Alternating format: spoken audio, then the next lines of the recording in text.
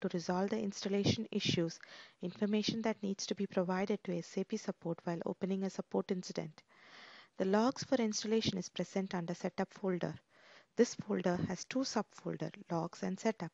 The setup folder contains XML files with the information of what was installed on the box and the logs folder contains the installation log. The most recent NWSAP setup.log is the one that provides information on the latest installation.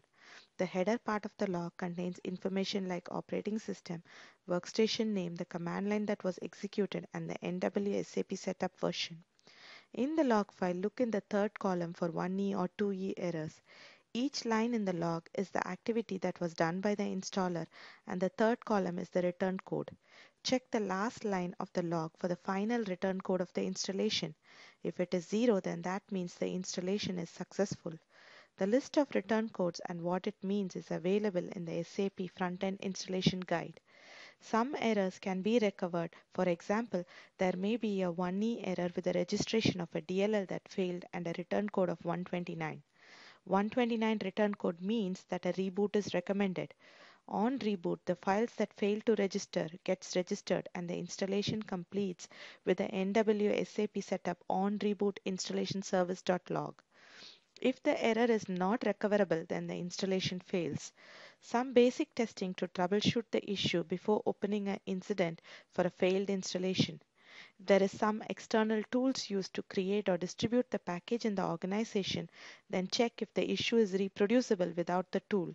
This testing will help understand whether the issue is with the external tool or with the installer. Check video note 2284239 for a complete tutorial of how to create a test package. Try a clean install on the client system. If clean install fails, then issue is with the package created. Open an incident with BCFES INS providing the necessary logs.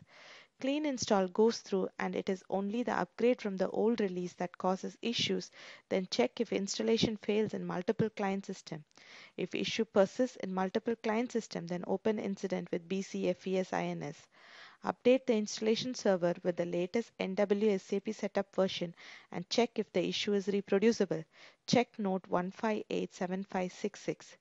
Here is the list of information needed by support to analyze the issue in BCFES INS.